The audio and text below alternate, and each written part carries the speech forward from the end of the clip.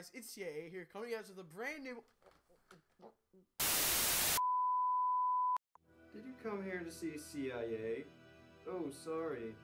He has had unfortunate circumstances come up in his life, and has left me the owner of his channel. You can expect to start seeing content that isn't absolute shit, and isn't ran by a degenerate loser fuckboy. If hashtag Eric Takeover is not trending on Twitter by midnight tonight, I will begin my process of complete annihilation and decimation of this channel. Also, don't worry about your friend CIA, he's in a better, safer place now.